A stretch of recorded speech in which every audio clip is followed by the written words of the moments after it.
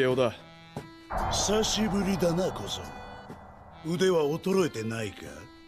まかつてはライバルだったがこれからは共通。なんだ？この集まりは？モブ無事か？師匠僕の家が家族が。聞こう。座れ。茂雄の代わりに俺様が状況を話す。なるほどエクボちょっといいか？おうダミー人魚ってのはとっさの嘘なのか？全く根拠がないわけじゃないが。お前も冷静じゃなかったんだな。嘘がバレたら一生モブに恨まれるぞ。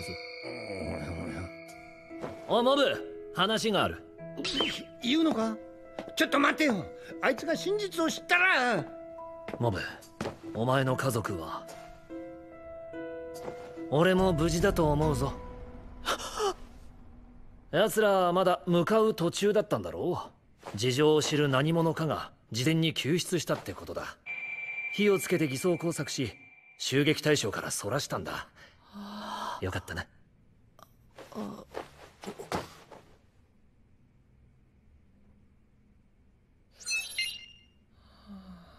安心するなり爆睡したぞ。今度はそっちの話を聞く番だ。